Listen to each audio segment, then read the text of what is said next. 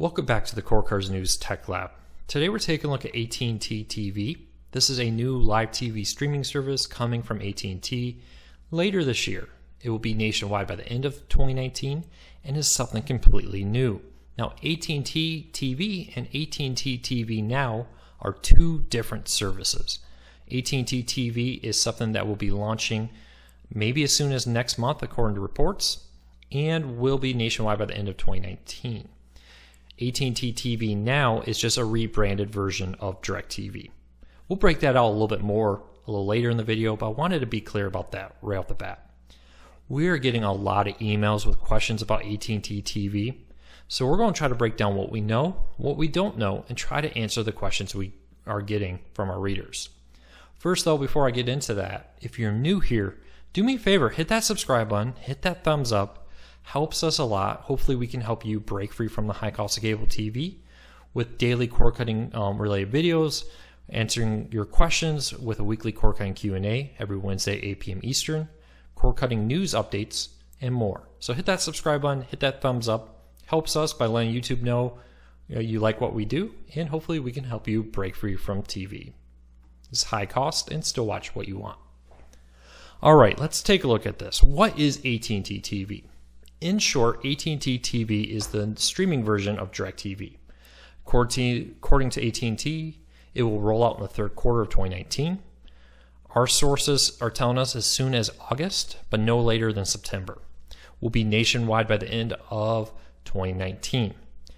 According to the training documents posted online by AT&T employees, AT&T TV will also be replacing UVerse TV, Uverse TV will no longer be sold in markets offering AT&T TV once it goes live. Now remember, this is for new customers. If you're an existing AT&T Uverse TV customer, you will get to continue to use your service. Just no new customers are going to be added, and that's been supported by documents going back um, a couple years now. There's been reports and rumors that AT&T wanted to phase out Uverse TV. And again, it is important to remember that AT&T TV and AT&T TV Now are two different services. AT&T TV Now is DirecTV Now rebranded. Nothing's changed, same channels, same package, new logos basically is a big difference here. Oh, AT&T announced this week that over the next few weeks they'll be rolling out an updated DirecTV Now app that will rebrand it to be AT&T TV Now. Keep that in mind. Now let's dive into AT&T TV and let's get one of the hardest things that's one of the most um, controversial aspects of all the reporting on this is what devices will AT&T TV support? Now I'm gonna read this statement right here on the on the screen right now is from the new AT&T TV website. This statement and more, all these links I'm gonna be talking about, can be found in the show notes down below I'll put a link to our website where you can find it. You can go to the AT&T website, read it there for yourself. Now, according to AT&T's website, the new AT&T TV experience comes with our next generation device, so you're all set to watch on your biggest screen. Always on the go, we have you covered. Just download the AT&T TV app on your mobile device or tablet so you can stream anytime, anywhere. Now this has raised a lot of questions. Now we've known for a while that AT&T does have a new Android TV powered set-top box that was reportedly going to be used for their new DirecTV streaming service. Well, DirecTV streaming service has been confirmed to be AT&T TV, according to AT&T's executives in last week's earnings call. But many people have argued that that will be an option but will not be required. We've had sources tell us that you will be required to own an AT&T TV branded streaming player if you want to use AT&T TV. If you're using AT&T TV now, you will be able to get it through Roku, Fire TV, etc. But the AT&T TV service will require you to have an AT&T TV branded streaming player. Now, we have two sources inside AT&T telling us that with slightly different variations. One of them reported that you will be required to buy at least one AT&T branded streaming player, but then after that you'll be able to use Roku, Fire TVs, Apple TVs, and more. Our other source says no, that's not true. You will be required to use AT&T TV's, you know, next gen device, as they call it, for all your TVs. We're going to have to wait and see, but there's some supporting evidence to this. Now, this is not what I'm saying. It does line up with what Variety and CNET reported AT&T said during their earnings call. According to Variety, and again, links in the show notes down below, AT&T's TV service, which will use a thin client internet set-top box on the company's um, Q2 earnings call on July 24th, CEO um, of AT&T said that AT&T will slash the customer acquisition cost by 50% compared to or compared with the legacy DirecTV satellite service. CNET also backed this up in their story a little bit more clearly, saying that the new offering, referencing AT&T TV, will allow users to stream content to the AT&T TV app on mobile devices and through a box on TVs. Seems pretty clear there. Yeah, that CNET Variety also heard what I heard during the earnings call. This also lines up with what AT&T's president of mobility and entertainment, David Christopher, said in an interview with Fierce Video back a few months ago. Now, remember this was before AT&T confirmed the name would be called AT&T TV. At the time, they were just calling it the DirecTV streaming service. We've heard that name used quite often from AT&T executives over the last year or so. So let's say take a look at what Christopher told Fierce Video in, in his interview. Christopher said that AT&T built its new streaming box for the service the new DirecTV streaming service because the company believed it wouldn't get all the benefits if it had just made the new DirecTV service an application. Fierce Video went on to say that Christopher reiterated the benefit that AT&T executives have previously laid out, namely the low-cost piece of hardware that consumers can install which will help lower the cost of customer acquisition by eliminating the need for trucks to roll and installers to climb ladders to put satellites on dishes and uh, dishes on roofs. That seems to really confirm that that's targeting DirecTV, not DirecTV Now customers, and that you will be using a DirecTV or now AT&T TV piece of hardware for this. Now, you know, is our one source correct that you will be required to get one of these devices for your primary TV, but then after that, you will be able to get um, Roku, Fire TV, Apple TV apps. Very possible.